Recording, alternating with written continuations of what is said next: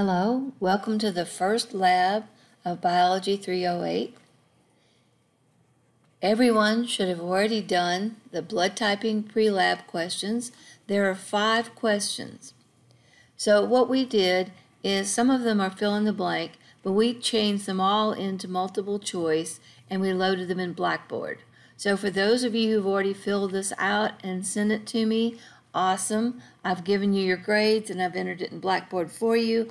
But from now on, you can just go in and do the pre-lab questions as multiple choice. So that'll make life a little bit easier on both of us. The objectives are to learn about blood typing. You need to know what antigens are, you need to know what antibodies are, and you need to be able to determine blood type. So a long time ago, we actually had students prick their fingers and put the blood and put the antibodies, and then they can determine their own blood type. But when we realize that there's AIDS out there, there's hepatitis, and there's other blood-borne pathogens, we stopped doing that and we started doing simulated blood. So, but now in the time of COVID, we're doing it online. So hopefully you guys will get a feel for this, even though we're not meeting in person and you're not pricking your finger. But it's important to know what your blood type is. So whenever you go in the hospital, one of the first things they do, they start an IV and they type your blood just in case they need to find out uh, if you need a transfusion. So that's what we're going to be talking about. On the surface of all the cells in your body are little proteins that stick up. And there are some glycoproteins and there are some uh, glycolipids that stick up. And these identify you as you. So if I tried to put my kidney in your body, it wouldn't work because your body would recognize all proteins on the surface of my kidney as being not compatible with yours. If they tried to give you my blood, unless you happen to be O positive, then it probably wouldn't work. So they, uh, it's important to understand what things are on the outside of the cell. These glycolipids and glycoproteins that are sticking up on the surface um, someone cleverly found one of them and said, oh, we're going to name that one A. And then they found on someone else's cells, they didn't have the A glycoprotein or glycolipid, they had one they called B. And some people had both A and both B. And then some people didn't have A or B. And they said, okay, they're O. They don't have either one. They're missing the antigen. Now, when we do the immune system, we're going to learn that an antigen is anything that gets in your body and causes your body to attack it. It could be a worm, it could be a splinter, it could be a virus, or it could be someone else's blood or someone else's cells. So, if you have type A blood, you can uh, have a type A transfusion, but you can't have B. You might be able to have O type because it doesn't have any antigens on the surface of it. But we thought we had it figured out a while ago, and we started doing transfusions, and most of the time it worked fine. If you gave somebody with A blood, you gave them somebody else's type A blood, and it worked. But every now and then somebody would die. And they said, okay, there's got to be something besides the A and the B that's on there that's causing the cells to clump up. There's some other antigen out there. So at the same time, there was a man that was looking at the rhesus monkey and he was comparing the proteins of the rhesus monkey to the proteins in our body. And come to find out, we're about 98% the same proteins. But he found this rhesus monkey protein on the outside of the red blood cells. It's also on the other cells, but we just look at the red blood cells for when we're doing blood typing. And he said, aha, this must be the culprit. This is this is what's happening because a lot of people have the Rh um, or Rhesus monkey uh, protein, but some people don't. So the people who do have it, we call them Rh positive, and the people who don't have it, we call them Rh negative. So, in order to tell somebody what your blood type is, you have to tell them about the A, the B, or the O, and you have to tell them whether you're rhesus monkey positive or negative. So, in my case, I told you I'm A positive. So, I do have the rhesus monkey protein on my cells. So, if you gave my blood to someone who was negative, they would attack my blood as a foreign invader. So, antibodies are the things that are in the blood that clump the blood. They detect the blood is a foreign invader. Now, this is a thing that some students get really confused about. So let's stop and think about this. If you have type A blood, you have A antigens. You cannot have A antibodies because if you did, you'd clump your own blood. But you do have B antibodies. So a person who has type A antigens will have type B antibodies. Now, think about that, see if you can work your way through it, because if you don't understand that one statement right there, then you're not going to understand anything else about the rest of this lab because that's what you have to know. So the antigen is what's present on the surface, and you cannot have antibodies against yourself. So if you go look at the person who has type B blood, if they have type B blood, they have B antigens. They do not have B antibodies because then they clump their own blood. So they're going to have A antibodies. Now, a person who is type O blood, like I am, I don't have the A or the B antigen. I have neither one of those. But I do have antibodies against A and B. So if you gave me type A blood or type B blood or type AB blood, you would kill me because I have antibodies against it and I will attack the incoming blood I will clump it together in great big gooey clots that are unable to move through my blood vessels and unable to move through my heart. And I will not get any oxygen and I will die. So it's very important not to give me anything except, except type O blood.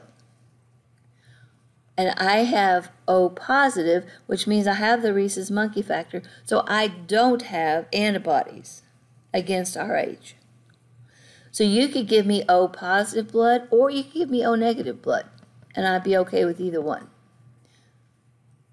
All right? A little bit confusing. So, what antigens does a person with AB have? Well, they have both the A antigen and the B antigen, so they're type AB. They do not have A antibodies, nor do they have B antibodies. They don't have those.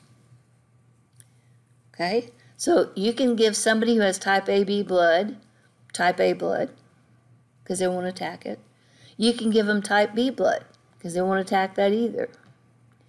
Now, I made a little PowerPoint and I put some little jokes in there, but there's a video in the last slide, and it'll tell you exactly who can have whose blood. Take a moment and watch it. So it's kind of neat because you click on the little um, IV bag of blood and you watch and it shows you which people can have that particular type of blood. So as it starts to come down, you should be able to predict who can get which blood. Now I'll give you a, a spoiler.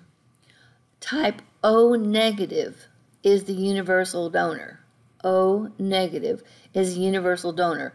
Anybody can have type O blood. So if you watch any TV shows, you see them get the person out of the ambulance, they rush them into the emergency room, and they're yelling, Get some O neg, get some O neg. Well, that's because it doesn't matter what type of blood that person has, they can take O negative blood. So it's a universal donor. And the universal recipient is AB positive because they don't have antibodies against A, they don't have antibodies against B, and they don't have antibodies against the rhesus monkey factor. So they don't have any antibodies against any of that, so they can take anybody's blood. So there's your spoiler. And you should know who the universal donor is, and you should know who the universal recipient is, because they always like to ask that on tests. All right. Now, there, um, there's some stuff in here talking about that uh, blood is a connective tissue, and connective tissues are made of a matrix and cells. And in this case, the matrix is the plasma, and the plasma has albumin in it, has antibodies in it, uh, nutrients, waste, things like that. And then you have the formed elements, which are the red blood cells. And the proper name for red blood cells is erythrocytes. Erythrocytes. And then you have the leukocytes, or the white blood cells, and you have platelets. So those are called formed elements. And if you put this in a centrifuge tube and spin it, the heavy stuff goes to the bottom and the plasma goes to the top. So that's one of the things you'll learn in lecture. So I've been talking about clumping and antibodies and antigens, but this is actually what you would see if you ran a test. So what you would do, you take a slide and you put three drops of blood. So you prick your finger and you squeeze out a drop and you squeeze out another drop and you squeeze out another drop. When you do that, then you stir it with a toothpick and you make sure you use a clean toothpick for each one and you add antibodies to A, antibodies to B, and antibodies to the rhesus monkey factor. Now, if you look, this did not clump. The blood just stayed spread out. So there are no A antigens. So this person does not have type A blood because when you put antibodies on it, it didn't clump. When you took the drop of blood and you put B antibodies, it did clump. So what happened is the antibodies grabbed hold of a red blood cell it, by the little B antigen sticking up and it made all of those red blood cells stick together in a big gooey mess. So this is clearly clumped. And this could go through your capillaries and your blood vessels and your heart just fine, but this will not go through this clumped stuff. So this particular person has type B blood. They do not have type A. And if you see this clumped also, so here's all the red blood cells clumped together, and you see it's all clear out here where they put the rhesus monkey antibodies. So we would say this person is B positive. So that's what that looks like. Now I found a few more online to show you.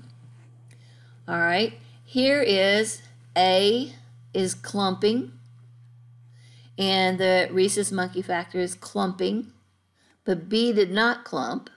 So this person is A positive. That's what this is. So whatever clumps, that's the blood type. And then you have to look and see whether the uh, rhesus monkey factor clotted. Most people are positive. There are very few people who are rhesus monkey negative. But those people have a problem, especially if they're females, uh, because if they get pregnant by a man who is rhesus monkey positive, there's a possibility that she could attack her baby while it's inside of her and kill it. So uh, women need to know whether they're Rh positive or Rh negative. Here's another. In this case, the A clumped and the B clumped. So this person has type AB blood but the Rh factor didn't. So this is a person who is AB negative. So that's what AB negative looks like. Now, the lab that we do normally when we meet in person is kind of neat. We have some blood, it's synthetic blood, it's not real blood. And we have this scenario about Mike, and he's going to the hospital. The hospital, somehow or another, doesn't have a blood bank, which isn't a possibility. Uh, but if it was a possibility, uh, then they would say, okay, Mike has four friends and they have all offered to donate blood. So in the lab, we would take blood from Kim, Ajax, June, and Frank, and Mike, and we would see what the blood types are of each of those to see if any of those friends have a matching blood type. So we would take five plates and put three drops of Mike's blood, three drops of Kim's, Ajax, June's, and Frank's. And then we would put A antibodies on the first drop, B antibodies on the second drop, and the rhesus monkey factor on the third third one. And then you would mix it up and you would write down the results in this little table and you would be able to tell whose blood was compatible with Mike so that they could give a transfusion. But uh, unfortunately, you're going to have to do an online lab instead. So they want you to draw uh, which of these, and you should try this, which of these would you draw clumped blood? So here's A, here's B, there's the RH factor, and they want to know which would clump for A positive. Well, the A would clump and the RH factor would clump because that's positive.